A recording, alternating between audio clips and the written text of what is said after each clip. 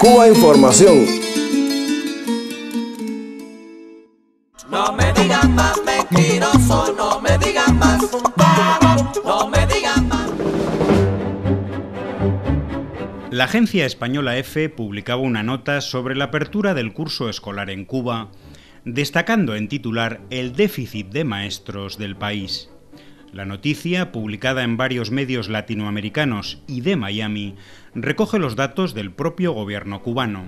172.000 profesionales de la educación solo cubren el 93% de las necesidades y el déficit es cubierto puntualmente con la contratación, entre otros, de maestros y maestras jubilados. El éxodo laboral a otros sectores mejor remunerados es solo uno de los problemas del sistema educativo de Cuba. Otros tienen que ver con la falta de recursos, el transporte, el estado de las edificaciones, el 42,5% en situación constructiva regular o mala, la escasez de materiales o la baja conectividad a Internet. Además, el sistema educativo no está libre de fenómenos como el de la corrupción, que hace años eran impensables en este sector. El pasado año, el Ministerio de Educación hacía público un fraude de elevadas proporciones en las pruebas de ingreso universitario. Todos estos males son reconocidos y abordados por las instituciones y la comunidad educativa de Cuba, son tratados de manera recurrente en la prensa del país y recogidos por la literatura y el cine de la isla. Conducta, película cubana premiada en varios festivales internacionales, refleja algunos de los males y contradicciones del sistema educativo cubano. Pero en la nota de una agencia internacional sobre la educación en un país de América Latina se echan en falta importantes elementos de contexto.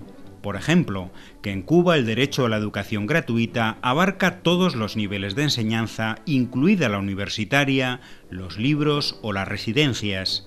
Como dato inédito en otras latitudes de América Latina, en Cuba existen, en zonas aisladas de montaña, cerca de 200 escuelas con un solo niño o niña.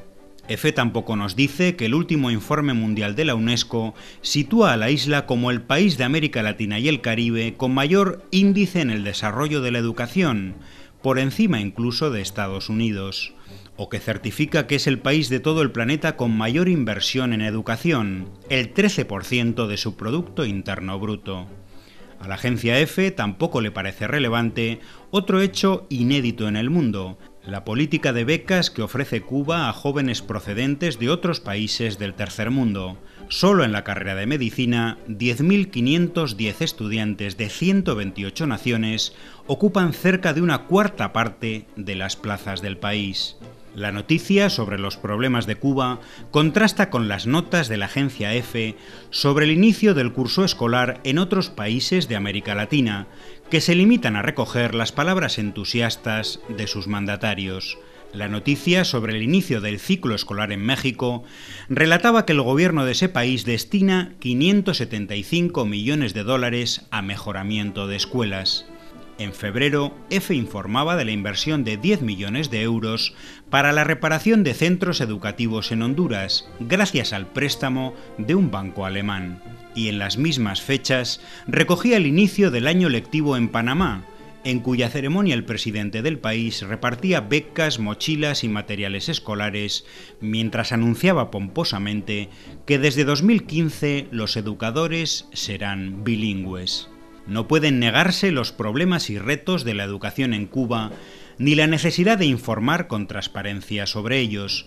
Pero si hasta el director general para América de la Unión Europea, Christian Leffler, ha reconocido que Cuba tiene una situación positiva en áreas como la sanidad o la educación respecto a otros países de su entorno, no estaría mal que de vez en cuando la agencia española EFE nos informara de ello.